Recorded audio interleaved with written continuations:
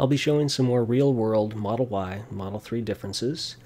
Today we'll be showing differences in home charging that I found. The blue car is the May 2018 rear-wheel drive Model 3. The red one is the March 2020 all-wheel drive Model Y. And I'm charging at home using a NEMA 1450 charger. And in the Model 3 that I've had for two years, it's always charged the same way. As soon as I plug it in, it starts charging pretty close to immediately at about 30 miles per hour uh, with no noise coming out of the vehicle. So let's take a quick look and listen to the charging in the Model 3 first.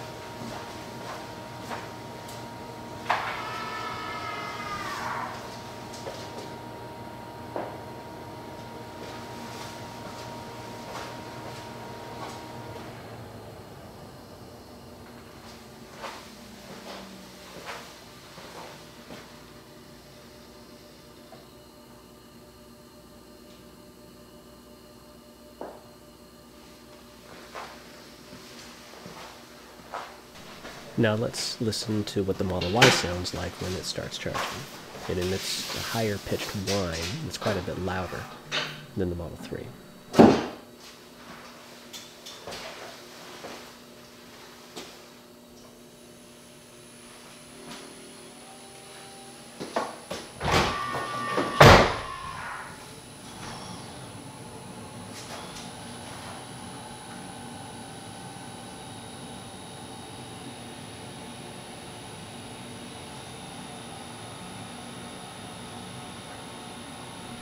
So the Model Y gets up to about 5 miles per hour of charge, uh, compared to the 30 that the 3 gets up to right away. And it's emitting that really loud, whiny noise, uh, which really concerned me at first, but I figure now it's just that it's trying to heat up the batteries. And it lasts for about 20 minutes before it starts charging again at 30 miles an hour. So we'll go ahead and fast forward through those 15 minutes.